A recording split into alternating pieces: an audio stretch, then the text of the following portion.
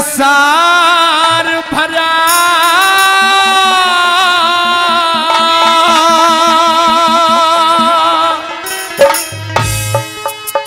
और बीमारी कुछ ना।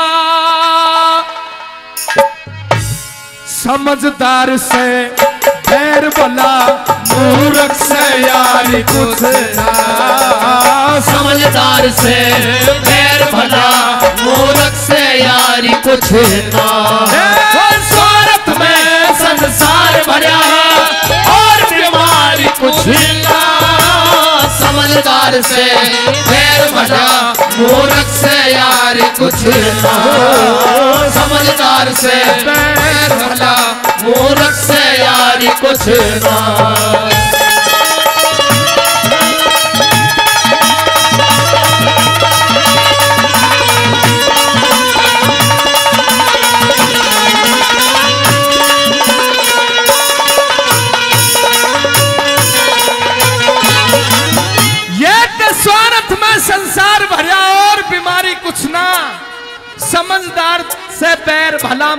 की यारी खुशी। समझदार इंसान का तो बैर भी अच्छा है।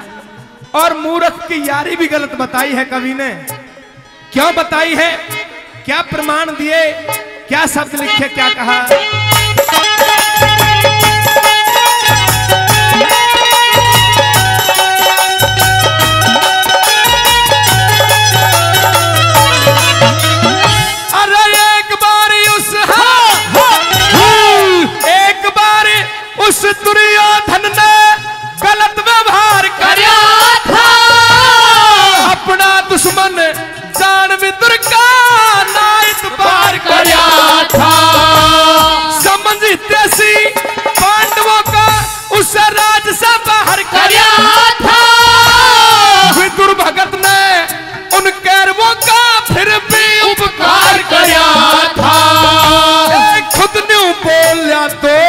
कर्म का।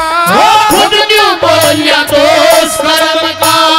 गलती थारी कुछ समझदार से पैर भला मूर्ख से यारी कुछ ना। समझदार से पैर भला मूर्ख से यारी कुछ ना।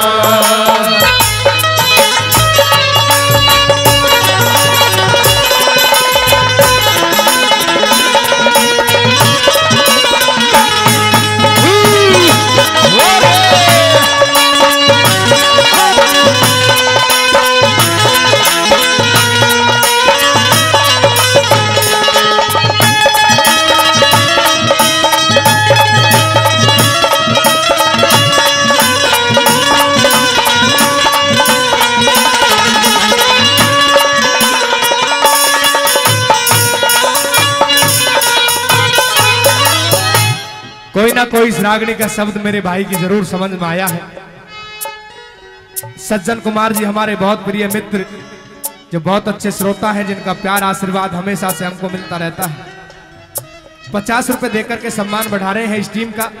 हम उनका धन्यवाद करते हैं। भूमिया बाबा उनका भी सम्मान पचास गुना बढ़ा करके रखे। आइए साथियों, पहले नंबर पे दुर्योधन के बारे में ज़िक्र किया।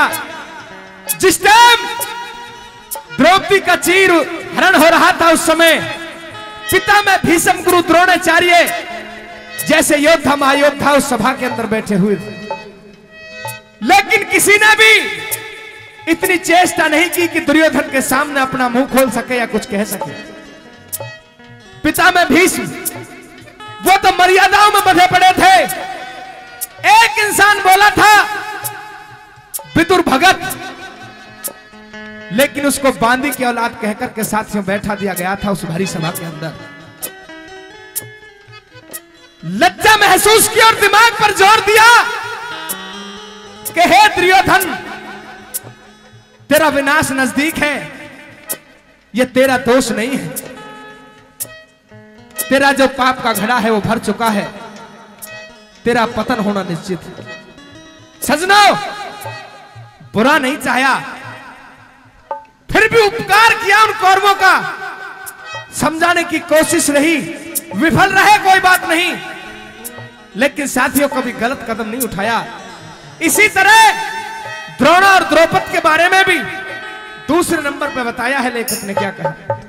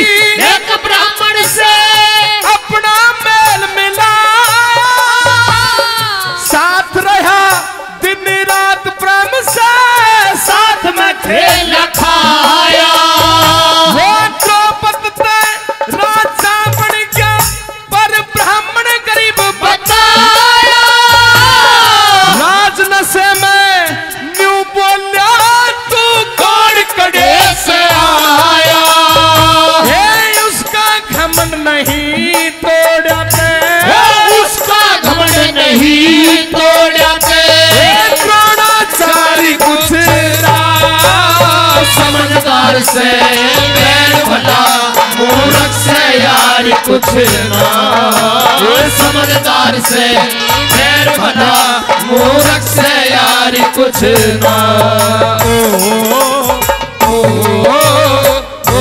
साथ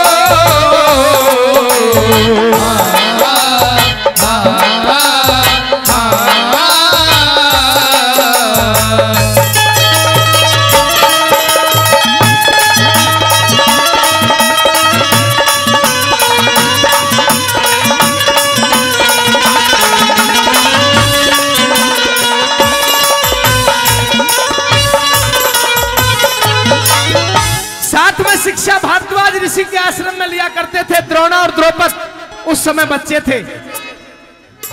बड़े हो गए। वक्त ऐसा हुआ साथियों कि एक दिन वो द्रोण अपने मित्र के पास में गऊ लेने के लिए पहुँचे। दरबार लगा हुआ था जाकर के चर्चा कर दी कि है मित्र, मुझे एक गऊ की आवश्यकता है। साथियों, मयान से तलवार बाहर निकाल करके द्रौपद ने यह कहा तू मेरे गुरु की संतान ना होती, मेरे गुरु का पुत्र ना होता तो मैं तेरा धड़ से सर कलम कर देता।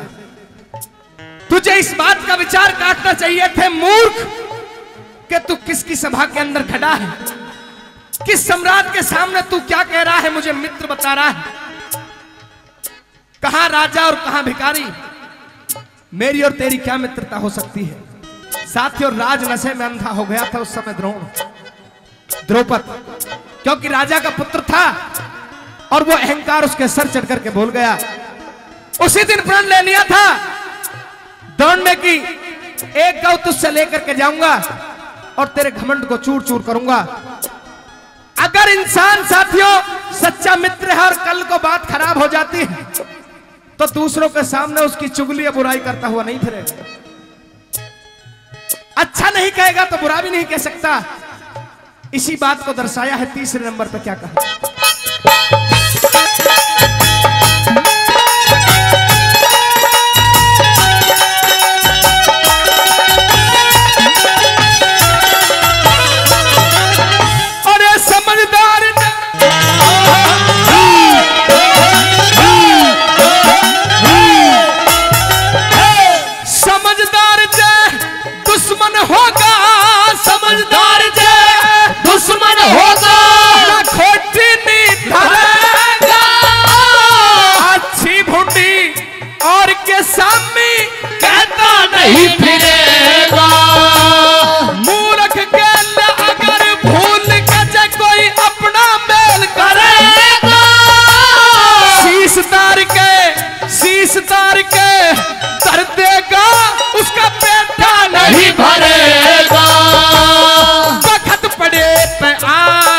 बदल जा।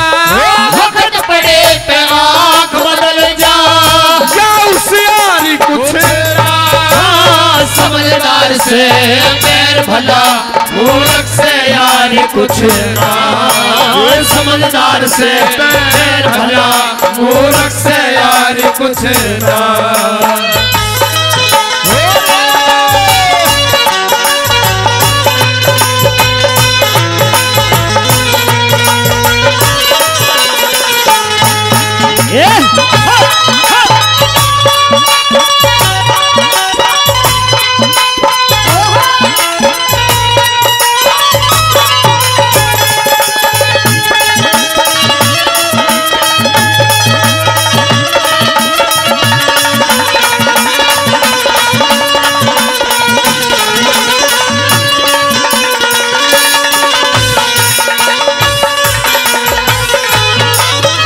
इधर हमारी माता बहनें बैठी हैं।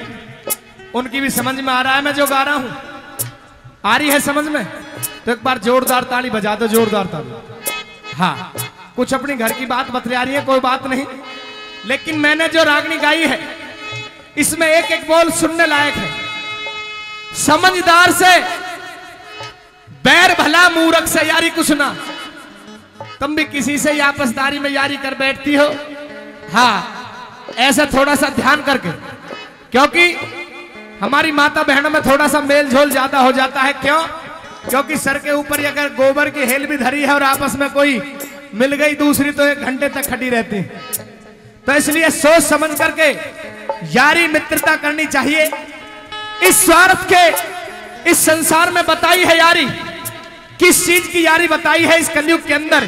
कैसे यार रह गए हैं? वो मैं नंबर चार में बता रहा हूँ। तीन कलियों पे ध्यान दिया हो या ना दिया हो, कोई बात नहीं। लेकिन लोगों, पाँच, चौथी कली को गौर से सुनना और एक एक बात पंच रूप लिखी है, कैसे लिखी है, क्या बताया था?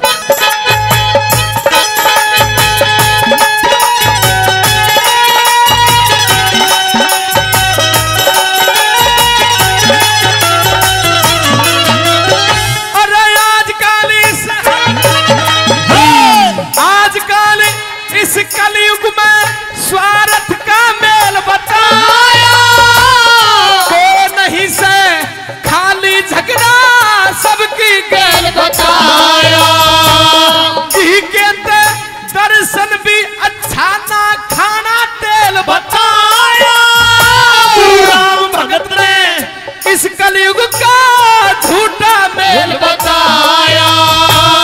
सच पूछे तो जगन्नाथ कहे। सच पूछे तो जगन्नाथ के या दुनियादारी कुछ ना समझदार से बैर भला मूर्ख से यार कुछ ना। समझदार से बैर भला मूर्ख से यार कुछ ना। स्वार्थ में संसार भरा और बीमारी कुछ ना। समझदार से है भला मूर्ख से यार कुछ ना। समझदार से बैर भला मूर्ख से यार कुछ ना।